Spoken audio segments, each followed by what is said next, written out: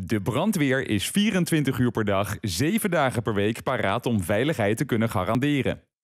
En om paraat te kunnen staan zijn er vrijwilligers nodig. Daarom doet de brandweer van Voorschoten een oproep. Zij kampen namelijk met een aanhoudend tekort aan vrijwilligers. Komt omdat wij een uh, korps hadden, hadden voorheen, uh, waar de regel was dat je met 55 uittreedt. Nou, dat is nog steeds een beetje de regel. En we hebben nu een wat ouder korps op dit moment. En we zoeken dus eigenlijk nieuwe mensen die uh, zich willen inzetten voor het dorp.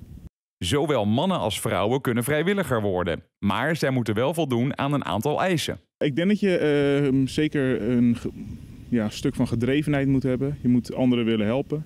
Je moet uh, ja, dus binnen die cirkel wonen voor vier minuten natuurlijk. En ik denk dat je daarnaast ook uh, vanuit jezelf een intrinsieke motivatie moet hebben.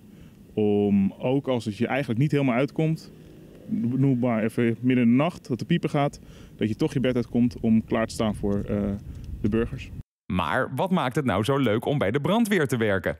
Uh, het leuke aan de brandweer is dat je een mooie opleiding kan gaan volgen, die een beetje veelzijdig is, technisch, maar ook theoretisch.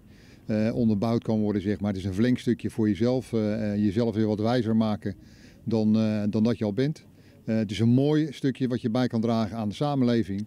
En je doet het natuurlijk niet alleen en je doet het met z'n allen. En uh, we hebben een hele leuke ploeg en het onderling, uh, onderling is het eigenlijk hartstikke gezellig ook met elkaar. En je bouwt ook een band op.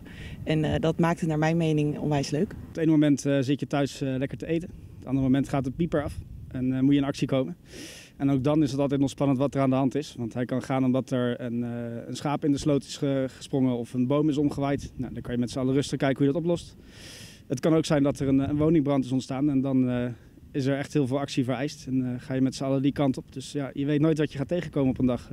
Uitdagingen, teamwork. Je bent continu bezig met, om het samen met z'n allen een goede prestatie neer te zetten en de beste dienst te leveren. En daarnaast denk ik dat het ook altijd nog ergens van iemand wel een jongensdroom is om bij de brandweer te zijn. En dat kan je zo vrijwilliger en je normale baan zo heel mooi combineren.